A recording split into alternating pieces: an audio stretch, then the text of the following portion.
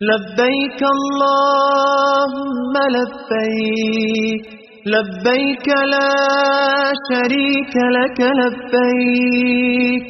إن الحمد والنعمة لك والملك لا شريك لك لبيك. وأذن في الناس بالحج يأتوك رجالا وعلى كل ضامر يأتين من كل فج عميق. يا أبي سمعت أن هناك كما يسمى بالذبح ما الذبح؟ الذبح يا بني هو يوم النحر وهو أول أيام عيد الأضحى المبارك وهو اليوم العاشر من شهر ذي الحجة.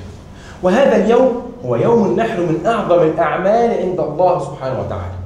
وتتؤدى بعد صلاة العيد وقد أخرج الإمام البخاري في صحيحه عن البراء ابن عازب رضي الله عنه عن الرسول صلى الله عليه وسلم يقول سمعت النبي صلى الله عليه وسلم يخطب فقال إن أول ما نبدأ به يوم يومنا هذا أن نصلي ثم نرجع فلننحر فمن فعل هذا فقد أصاب سنتنا وكيف يذبح؟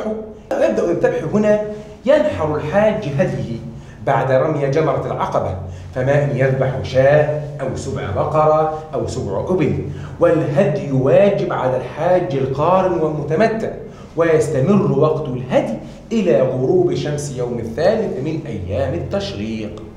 وكيف نذبح الأضحية يا أبي؟ سؤال جميل يا بني. اتفق العلماء على القول بأن الأضحية لا تصح إلا أن تكون من بهيمة الأنعام.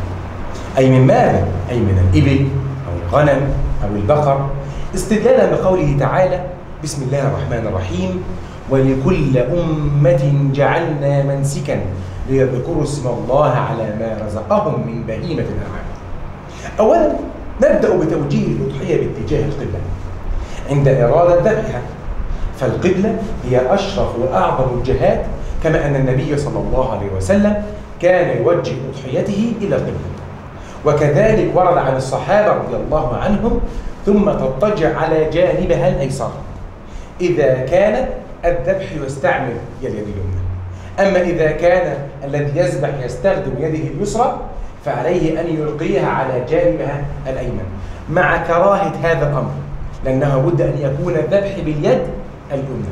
واستجابة لهذا الأمر للأضحية بعد اتجاعها ثم تؤخذ السكين وتمرر على حلق الأضحية حتى يأتي هذا الأمر وصولا إلى عظام الرقبة وتطرق القدم اليمنى للأضحية بعد الذبح.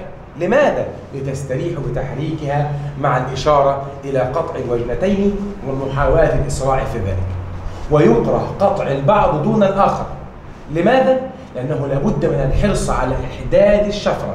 أو السكينة قبل ذبح الأضحية لابد أن تكون السكينة المستخدمة حادة في هذا الأمر.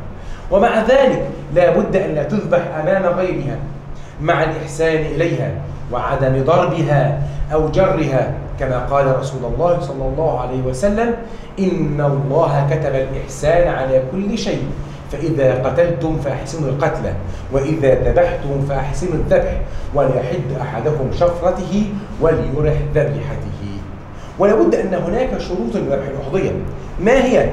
أولا التسمية أن تذكر اسم الله عز وجل عليها وسيلان الدم أن يسيل الدم من رقبتها حتى نطمئن لذبح الأضحية بكاملها ونبدأ بعد ذلك بتفريقها كما ذكر الرسول صلى الله عليه وسلم لبيك اللهم لبيك لبيك لا شريك لك لبيك إن الحمد والنعمة لك والملك لا شريك لك لبيك.